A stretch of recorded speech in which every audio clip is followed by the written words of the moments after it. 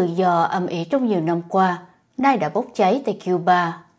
Tin tức, hình ảnh về các cuộc biểu tình tại nhiều nơi của người dân Cuba chống chế độ Cộng sản, đòi tự do đã được các hãng tin quốc tế đồng loạt loan tải.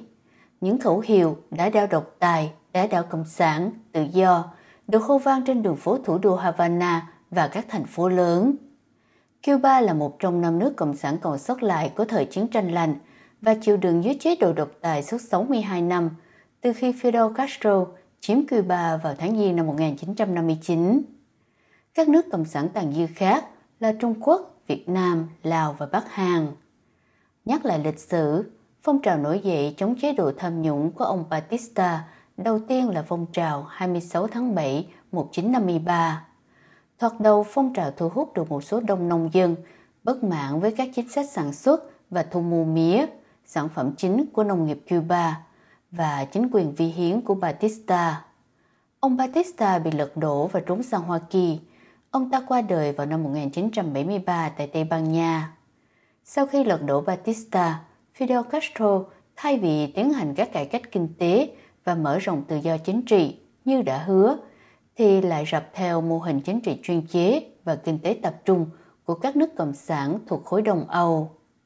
Fidel Castro quốc hữu hóa toàn bộ nền kinh tế, trong đó 40% đường mía, 90% nguyên liệu là vốn đầu tư của các công ty Hoa Kỳ. Đảng Cộng sản Cuba chính thức ra đời ngày 3 tháng 10 năm 1965 và là nước Cộng sản đầu tiên tại châu Mỹ. Ngày 19 tháng 10 năm 1960, Tổng thống Hoa Kỳ Eisenhower trừng phạt Cuba bằng cách ra lệnh cấm vận các hàng hóa Hoa Kỳ xuất cảng sang Cuba, ngoại trừ y tế.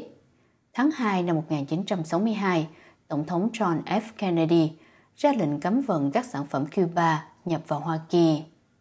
Qua các thời kỳ Tổng thống Hoa Kỳ, từ Tổng thống Eisenhower cho đến nay, quan hệ giữa Hoa Kỳ và Cuba có khi nóng, khi lạnh, khi nới lỏng, khi siết chặt, nhưng các điểm trọng tâm trong chính sách cấm vận của Hoa Kỳ đối với Cuba vẫn không thay đổi. Cuba Archive, một đề án phi lợi nhuận phục vụ nhân quyền tại Cuba, đã tổng kết được danh sách của 8.200 người bị mất tích dưới chế độ Castro và đề án này hiện đang tiếp tục được tổng kết.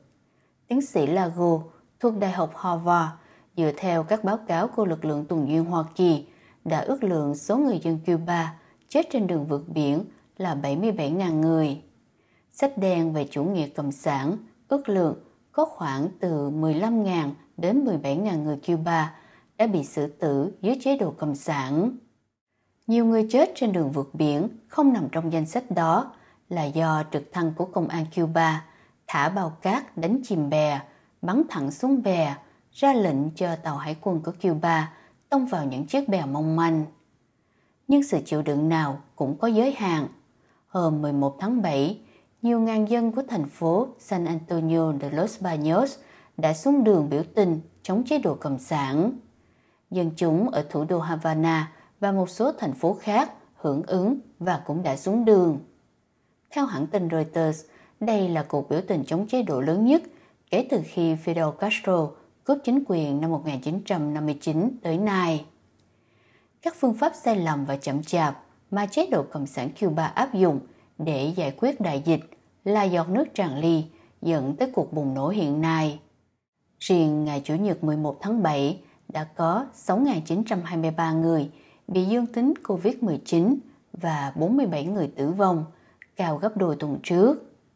Đời sống của những người thuộc giới tiểu thương những người làm ngày nào ăn ngày đó, các nghề nghiệp phụ thuộc vào sinh hoạt đường phố, chợ búa đều không có một lối thoát nào cho số phận vốn nghèo nàn của họ. Dù gia đình Castro từng gắn liền với chế độ độc tài cộng sản Cuba không còn nữa, nhưng bộ máy cầm quyền vẫn còn nguyên như thời Fidel Castro và Raúl Castro nắm quyền cai trị. Chủ tịch Cuba kiêm bí thư thứ nhất Đảng Cộng sản Cuba từ năm 2019 ông Miguel Diaz-Canel trong diễn văn hôm 11 tháng 7 vẫn với giọng điệu tuyên truyền cố hữu, đổ lỗi những khó khăn và bất ổn là do Hoa Kỳ gây ra. Theo lãnh đạo Cộng sản này, thì nhiều người dân xuống đường biểu tình là do Hoa Kỳ xúi dục. Nhiều người biểu tình đã bị an ninh thường phục bắt giữ và hiện chưa ai biết số phận họ ra sao. Theo hãng tin AP, cảnh sát đã xịt hơi cay vào đoàn người biểu tình, kể cả các phóng viên ngoại quốc đang theo dõi cuộc biểu tình. Tương tự như các cuộc biểu tình mùa xuân Ả Rạp năm 2011 hay các cuộc biểu tình đòi lật đổ Ali Khamenei tại Iran năm 2018, những người tổ chức ở Cuba đã vận dụng tối đa các phương tiện tin học. Các tín hiệu, hình ảnh được gửi đi qua các mạng xã hội. Các lãnh tụ không chân dung xuất hiện. Một phong trào không người lãnh đạo được hình thành. Ý chí tập thể trở thành nguyên tắc sinh hoạt và thay đổi hệ thống cai trị là mục tiêu chung của đại đa số 11 triệu dân của đảo quốc Cuba. Ông Diaz-Canel đã kêu gọi các đảng viên Cộng sản và các thành phần ủng hộ giới cai trị Cộng sản xuống đường để bảo vệ cách mạng. Đúng ra là bảo vệ quyền lợi của giới cán bộ, đảng viên có đặc quyền trong xã hội. Tuy nhiên, ông Yaskanen quên rằng Nicola Ceausescu cũng đã từng làm như vậy khi tổ chức cuộc meeting ủng hộ mình vào ngày 21 tháng 12 năm 1989 và kết quả là hai vợ chồng bị chính các đồng chí từng thề thốt trung thành xử bắn 4 ngày sau đó. Bài học các cuộc cách mạng dân chủ diễn ra tại Mông Cổ hay Hungary cho thấy đây là thời điểm của chọn lựa. Không chỉ chọn lựa của người dân đang xuống đường, mà còn là chọn lựa của những người lính, những người đang do dự và cả những người nằm trong giới cầm quyền.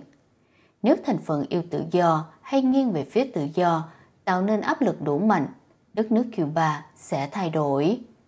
Phong trào dân chủ Cuba hiện nay không phải tự nhiên bộc phát, mà ngọn lửa tự do đã âm ỉ cháy từ nhiều năm trước.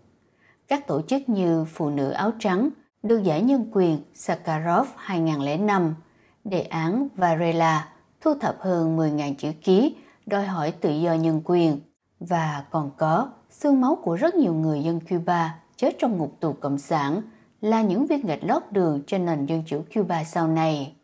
Không có sự hy sinh nào cho tương lai con cháu là hy sinh oan uổng. Thời gian ngắn tới đây sẽ là thời gian thử thách cho dân tộc Cuba và tương lai đất nước này. Nhưng dù kết quả ra sao, thì các cuộc biểu tình hôm 11 tháng 7 nhắc cho giới cai trị cộng sản một chân lý ngàn đời rằng mọi chế độ độc tài đi ngược với quyền sống của con người, sớm hay muộn đều phải sụp đổ.